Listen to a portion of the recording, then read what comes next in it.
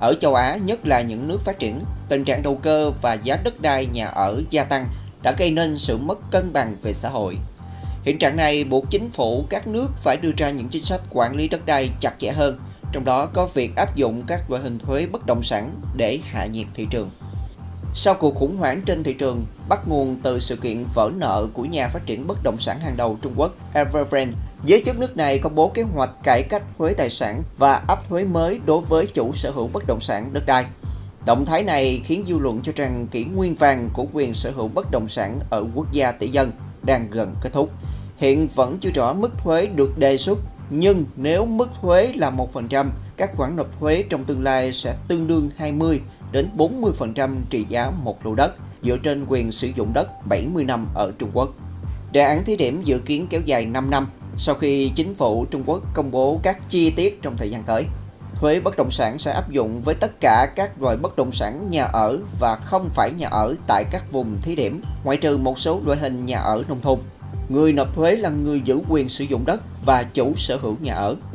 Theo hãng tin Reuters, Giá nhà trung bình ở Trung Quốc đã tăng chóng mặt do quá trình đô thị hóa thần tốc thúc đẩy nhu cầu. Giới nhà giàu ở Trung Quốc thường tích tất, chờ giá tăng và bán lại với giá cao. Tuy nhiên, dư luận cho rằng việc áp thuế bất động sản tại Trung Quốc cần cân nhắc thêm về thời điểm ban hành lẫn mức thuế.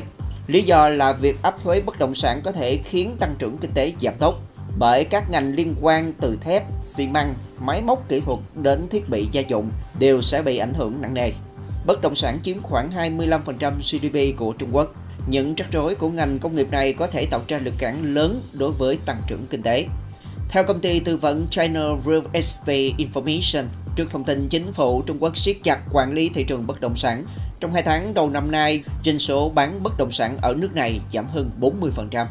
Ở Hàn Quốc, tình trạng đầu cơ bất động sản đã diễn ra trong nhiều năm.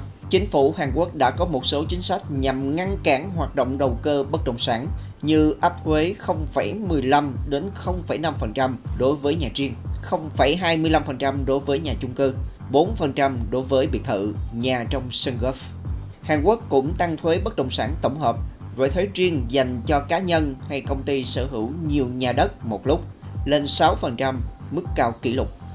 Đồng thời, thuế chuyển nhượng nhà cũng bị tăng lên 10% cho đối tượng chỉ có một bất động sản với người sở hữu hai nhà trở lên thì con số này là 20%, với ba nhà là 30% và cứ thế tăng dần. Ngoài ra Hàn Quốc yêu cầu những người mua bất động sản có tổng trị giá vượt 500 triệu won, tương đương 440.883 đô la Mỹ, có bản tường trình cụ thể về nguồn tài chính cũng như kế hoạch sử dụng đất nhằm tránh trường hợp đầu cơ sang tên ngắn hạn. Tại đảo quốc Singapore, nơi có chế độ sở hữu đất đai đa dạng, Chính phủ từ lâu chú trọng xây dựng chiến lược quản lý phát triển đất đai, lập quy hoạch sử dụng nhà đất dài hạn. Chính sách thuế nhà cửa của Singapore không đánh vào người có nhu cầu thực sự sở hữu nhà để ở, người thu nhập trung bình trở xuống, mà đánh vào giới đầu cơ tích trữ, tăng thuế rất cao vào căn nhà thứ hai trở lên và nhà có giá cao. Qua các đợt điều chỉnh vào các năm 2011, 2013, 2018 và gần đây nhất là tháng 12 năm 2021, sau khi giá nhà đất tăng 9%, giá chung cư tăng 15% vào quý 2 2021, chính phủ Singapore đã công bố biện pháp kiểm soát thị trường bất động sản chặt chẽ hơn. Cụ thể, công dân và thường trú nhân Singapore, những người đủ điều kiện để mua nhà ở xã hội sẽ không bị tăng thuế trước bạ khi mua căn nhà đầu tiên. Tuy nhiên, họ sẽ phải chịu mức thuế trước bạ tăng thêm 5% nếu mua nhà thứ hai và thứ ba ở Singapore. Mức thuế này sẽ tăng từ 25% lên 35% đối với các công ty, bao gồm các đơn vị phát triển bất động sản mua các dự án chung cư ở Singapore. Người nước ngoài mua bất động sản sẽ phải đóng mức thuế trước bạ tăng từ 20% lên 30% trị giá căn nhà. Sau một năm chứng kiến mức tăng cao nhất trong hơn 10 năm, thị trường nhà ở của Singapore đã có dấu hiệu hạ nhiệt do các biện pháp kiểm soát của chính phủ. Giá nhà riêng mới xây tăng chậm lại ở mức 0,4% trong quý trước, trong khi doanh số bán nhà vào tháng 3 2022 giảm xuống mức thấp nhất trong vòng 21 tháng.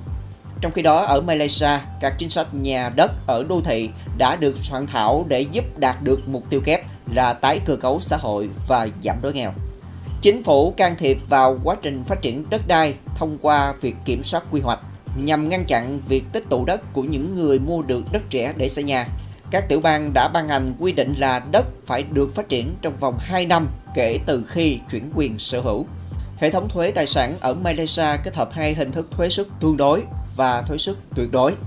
Bất cứ chủ sở hữu bất động sản nào ở Malaysia cũng phải đóng hai loại thuế. Thứ nhất là thuế tương đối, dùng để trang trải các chi phí xây dựng và sửa chữa các cơ sở hạ tầng công cộng trong khu vực hay thành phố. Thuế này được tính theo tỷ lệ phần trăm trên trị giá cho thuê ước tính hàng năm của tài sản do chính quyền địa phương thẩm định. Chính quyền mỗi địa phương sẽ tự đặt ra một mức thuế suất riêng, nhưng thường ở quanh mức 4%. Thứ hai là thuế tuyệt đối, được tính dựa trên loại hình và diện tích đất do chính quyền địa phương quyết định. Ngoài ra trong trường hợp chủ sở hữu cho thuê tài sản, họ cũng phải đóng thuế thu nhập từ khoản tiền cho thuê này.